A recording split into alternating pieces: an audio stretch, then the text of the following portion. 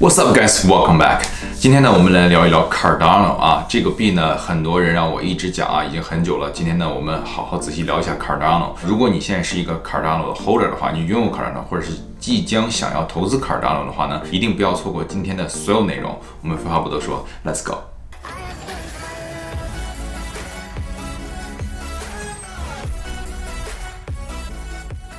Hi guys，如果你喜欢今天这期节目，如果你喜欢今天这期视频的话，对你有点帮助的话呢，在下面一定帮我点个赞把，下面赞点烂好吗？然后呢，我今天所有在视频里面说的所有内容呢。都是我个人的见解，不构成任何的投资建议。首先呢，我们 Cardano 呢，之前我已经讲过一期，包括之前的这个以太坊和这个 Polkadot 还有 Cardano 三条最大的这个公链，对吧？那当然，以太坊现在还是这个龙头老大，还是第一大的啊。Cardano 和 Polkadot 现在这个慢慢的升起啊，是一颗新星啊，两颗新星慢慢升起。那最后呢，他们到底是一个怎么样，我们现在还不知道。但是呢，这三条链呢，基本上现在是呢是最大的这个公链了。Cardano 呢，其实我知道呢，很多人对它有很多的争议啊，其实。喜欢 Cardano 的人呢，非常喜欢它。那讨厌 Cardano 的人呢，就说啊，他什么都没有东西啊，只是在讲一个故事，就是在做传销。其实他没有实质上的一些东西出来，对吧？其实他本身上的这个争议还是大的啊，特别喜欢或者是特别讨厌这两端的人比较多。我个人感觉呢，其实他现在呢是在一个主流币里面，大家可以看到啊，就是说前十的币啊，一定会有 Cardano 在里面的，对吧？在排行里面。那作为我们一般散户投资者来讲呢，那需不需要买这个币呢？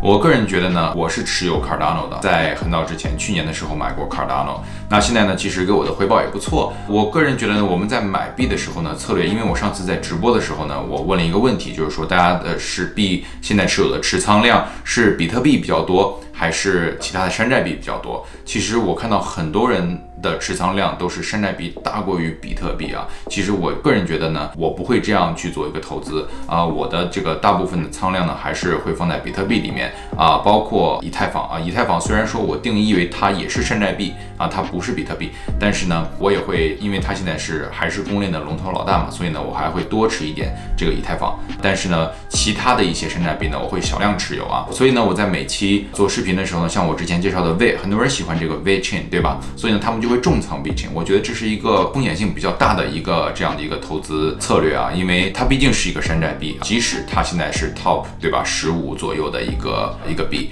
当然呢，我建议在这边呢，就是说我个人的投资策略呢，还是以比特币为主啊，其他的币就是少量投资一些小玩意啊。然后呢，如果这个币起飞的话呢，你不会这个错过，你不会 miss out，对吧？OK，我们来看一下最近 Cardano 出的这个新的新闻啊，这个新闻是啊，他说 Cardano 呢现在可以这个 crypto asset 这个加密货币资产可以用在 Shopify 跟 WooCommerce 里面了啊，这个呢是一个对他来说非常非常大利好的一个新闻。大家都知道啊，我之前是做电商，我是做 Shopify 的。如果你们在翻我这个之前呃去年的一些视频的话呢，基本上都是关于 Shopify 啊广告这些东西的，因为我就是做 Shopify 电商起家的啊。那我对 Shopify 呢也是有非常多的了解，所以呢，我觉得 Shopify 呢之后呢，我是非常看好的这样一个前景，在电商这个领域里面。那我觉得这个 Cardano 现在能跟它做一个这个结合的话呢，我觉得是一个非常非常利好 Cardano 的一个消息啊。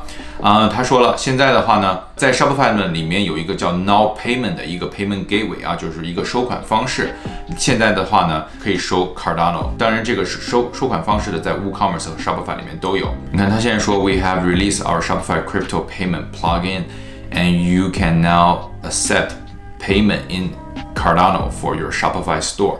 就是说，在我们做 Shopify 的这些电商的这些人，我们现在收款的时候呢，我们可以直接收取 Cardano。就算我们现在没有 Cardano 的这些的 wallet，没有它的这些钱包啊，我们也是可以收取 Cardano 的。它会用这个 Now Payment 第三方收款工具，它会自动。帮我们去转换成啊现在市价的一个实时转换这样一个 Cardano 的这样一个代币啊。那其实在这边呢，这个 Now Payment 呢，它现在已经有非常非常多的一些 Coin 了啊，差不多五十多个，包括热门的比特币啊、以太坊啊、啊 Binance Coin 啊，就是这个 BNB 啊。Cardano 啊，等等等等这些东西啊，我觉得呢，其实这是一个非常非常好的一个现象啊，在这个 e-commerce 电商方面呢，现在开始大家在收款方式的时候呢，都开始呃慢慢的可以接受我们的加密货币了啊，而不是传统的一些呃信用卡啊一些对吧，PayPal 这种这种非常非常中心化的东西，而是去用一些这种呃去中心化的这些一些代币啊，我觉得这是一个非常好的一个发展方向。总而言之啊，这个消息出了以。后呢，我觉得 Cardano 呢应该之后会拉一波啊，会拉一波币价。我们现在先看一下这个 Cardano 币价啊，今天的 Cardano 币价的话，其实涨了百分之八，就是这个这个前两天这个消息出了啊，它其实涨得还是比较好的。大家可以看一下啊，这个 Cardano 一贯的走势，那。它其实过了这个一八年的熊市以后呢，今年啊，你大家可以看一下，像这种老项目，一七年、一八年的老项目啊，它如果在今年的这个 all time high 已经过了去年的这个 all time high，我觉得是呃比较是可以价值投资的一个东西啊。那如果像有一些币，它今年到现在啊还没有。币价没有超过一七年的这个最高点 all time high 的话，我觉得大家就可以考虑一下啊，要不要去投资这个啊？比如说某某币，好不好？如果你们在一七年、一八年买了某些币，今年归零了，或者是这个还没有超过之前 all time high 的币啊。这个在下面留言让我知道好吗？然后呢，也让大家我们可以去讨论，我们看看这些币到底适不适合值得投资。还有一点啊，就是说，Cardano 呢，它其实是针对的以太坊而出来的一个公链啊，它想修复以太坊的一些问题，其中最大的一个问题呢，就是量化的问题，就是因为以太坊这个 gas fee 啊太贵了啊。我们现在看一下以太坊的 gas fee。它现在 gas fee 呢是差不多五十三啊，在五十三左右。其实说实话，之前的话呢，以太坊呃每天两百多 gas fee 呢，其实是一个非常正常现象，就是非常非常堵。最近的话呢，是因为 V 神把这个他们的这个区块这个呃调高了啊，所以呢之我记得之前好像十二万，现在是调成十五万了，所以呢它的 gas fee 下来了。但是它这个样一个举动呢，又让我觉得以太坊其实这么简单就能把 gas fee 降下来的话。啊，把区块调高的话，那我觉得他这个是完全一个人可以，他想做什么就是做什么的这样一个东西。我现在又开始在担心这个以太坊啊，之前我还是蛮喜欢的，嗯，但是呢，现在由于。V 神想干什么就干什么，包括一五五九，对吧？很多矿工也不愿意，但是他也执意在做。我个人感觉，他其实看上去是一个去中心化的这样一个代币，但是就是因为一个团队在做，所以很多决定呢都是一个团队的这个领导人来做的。所以呢，他现在好像也没有那么去中心化，都是也是一个呃有点像中心化的的一样这样的一个东西啊。所以呢，现在我对这个东西呢其实有点看法啊。但是呢，Cardano 呢就是去解决它的这个问题啊，尤其是在 DeFi 方面啊，它每次的这个手续费呢是非常非常非常低啊，所以呢，我们现在到底，因为它现在这个 Cardano 整个的这个 Roadmap 现在还没有再出来啊，还没有再出来到最后一步。还是在之前的这几步，所以呢，到以后呢，到底是一个什么样，我们也不太清楚啊。到底是以太坊还是一个龙头老老大哥，对吧？他把自己的问题全部修改完了以后，还是一个龙头老大哥，还是 Cardano，包括啊 Polkadot，还有最近非常火的 Solana，对吧？这些公链能上来，我们现在不得而知。所以呢，在这种情况，对我们一个散户投资者的话呢，就是每个都买一点，对吧？每个都买一点，然后呢，看到时候。呃，哪一个会起飞？那我们就到时候根据各种，根据当时的情况，可能再再逢低买入啊，再继续这个碰到。这个回调的时候再进行加仓，我觉得这是一个啊比较好的这样一个策略。那我们现在再来看一下这个 Cardano 的这个 roadmap 啊，就是说它现在呢已经到了第三个阶段了，这个 Gogen 的这个阶段了。下面的话呢就还有两个阶段，对吧？其实我觉得呢，他每次这个团队还是真的是有在做事的啊，他每次呢都是能提前或者是按时完成他这个 roadmap，对吧？那其实他还是在这个顺着他们的这个计划一直在实施，一直在进行，所以我。我觉得这个团队呢还是真的是不错的。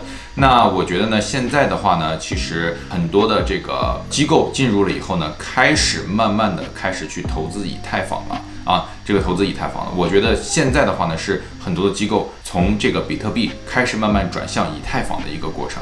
那我个人觉得呢，呃，在以太坊之后，他们在找的下一个目标呢，有可能就是 Cardano 啊。所以呢，我个人觉得呢，在今年的话呢，它肯定会涨，但是呢，它的涨幅，我觉得在两三年后，或者是二零二四年四年之后的话呢，肯定是有一波啊非常非常大的一个涨幅啊。我个人觉得之后机构的话呢，可能会从以太坊。去慢慢的转向 Cardano，那很多人现在要问这个最关心的问题了，说，哎，哈林，那你觉得今年的话，Cardano 能涨到多少呢？你的预期是多少呢？个人的话呢，看到他们这个团队经常的在按时的在交作业，对吧？而且呢，我看一个币呢，其实我看的东西呢，都是一个叫 MacFs MacFs Law 啊，之前我也在我的视频里面讲过什么是 MacFs Law。就是说，这个币拥有的人越多，然后呢，持有的时间越长，地址越多，这个币呢就会有一个比较大的增值空间。上次我讲了这个以太坊的这个增加的地址和这个数量，还有这个增加的这个涨幅非常非常像上一轮牛市的比特币。那我看了一下 Cardano 呢，它最近的涨幅呢，其实也是非常非常不错的。我觉得今在这个牛市里面呢，Cardano 的我预估啊，我预期它应该差不多在到达七块钱左右啊，七块钱左右。现在的话呢是一块多一点点，